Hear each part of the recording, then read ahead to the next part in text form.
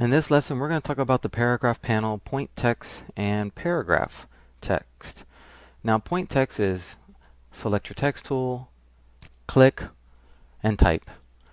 My name is. That's point text. Real simple. But Photoshop offers another way.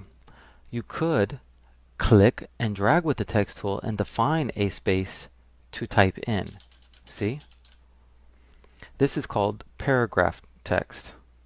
Now something else you can do just real quick, if you press Alt and drag out a space, it will actually tell you the paragraph text size, which is nice, and you can adjust it too. Just on a side note. So what we're going to do is I'm going to draw out a paragraph text, and I selected some text already, so I'm going to press Control V to paste it, and it's just basically a, a beautiful poem uh, by the renowned Maya Angelou. And then I'm going to just quickly add some quotes here and here. And then I'm going to commit it. And then I'm going to bring out the paragraph panel. Remember, if you don't have the paragraph panel, you can go here and select paragraph, but it's also usually associated um, with the character panel. Now, when I click on this, this poem is pretty large. So if all the text cannot fit in the text box, you'll see a little overflow button right here. So basically, this means either shrink the text or um, drag out the text box some more. Now, the, the paragraph panel has some options that you can use. If you select the text layer, this will apply to all of the paragraphs and everything in between. If you select a paragraph, then it will just only occur to that paragraph you selected. And then here's some options. You have your typical left, center, there you go, center, right. Then you have your justifies, as you can see here. Let me go back. Full justification over here. Here is the indent. Uh, this is the first line indent. Um, here, this is the amount of spacing um, before your paragraph, and ironically, this is the amount of spacing after your paragraph. And then over here is your right margin. You can hyphenate, and what that basically means is if I select this and I reduce the, you got it's tricky here. almost had it there we go, and I were to decrease this, I'm trying to get it to where, there you go, you'll see the hyphenation. Now you may not like this hyphenation. If this hyphenation bothers you, you could select the word, go over to the flyout panel, choose the character panel, excuse me, on this one, choose, and then say no break. And this will prevent that from uh, breaking to a, hy a hyphenation. So let me go back to the paragraph panel select the layer so we can see the whole thing. And then let's talk about some other options that are kind of hidden in the paragraph panel, which are pretty nice. If we click this little flyout menu, you'll see here a thing called Roman hanging punctuation. What is that? Notice where the punctuation is right now. If I click on this, you can see the text box here. It's inside.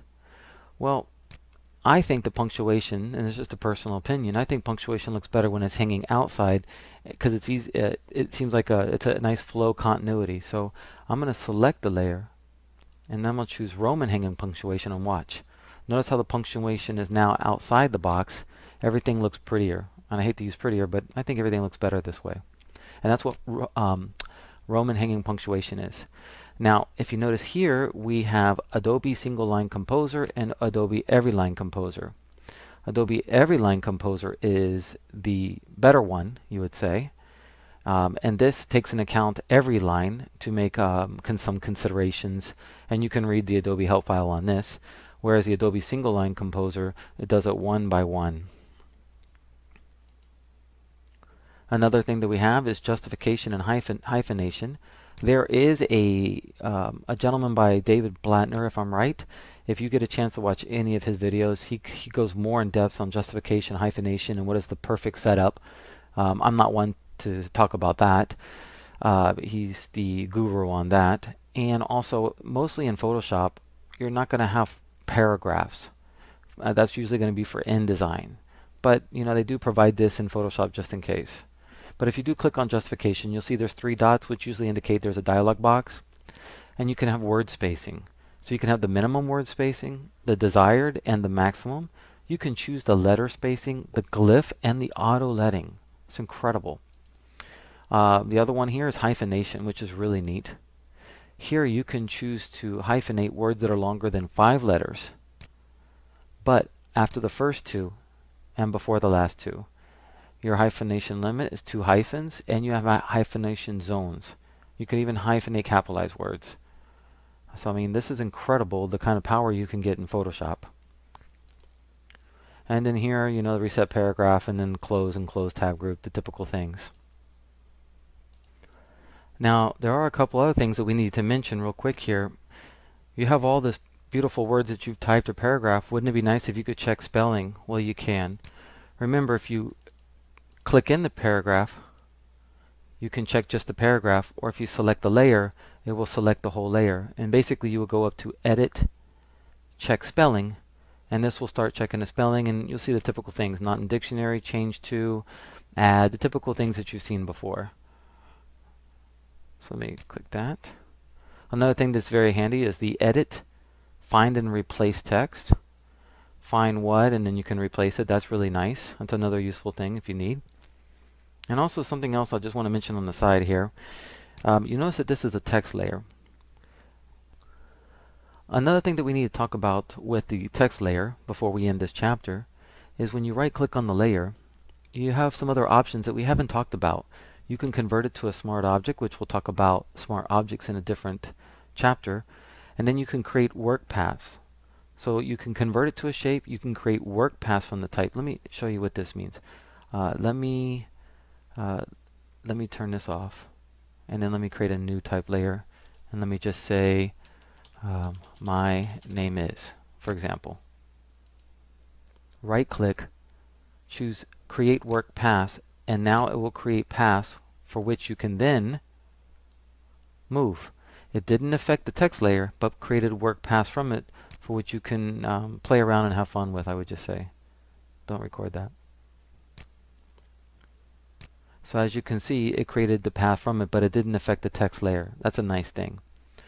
Also something else, um, you can rasterize your text. Watch what happens when you rasterize the, um, the text and watch what happens to the type layer. Notice it becomes a regular la uh, layer now. You notice the T disappeared?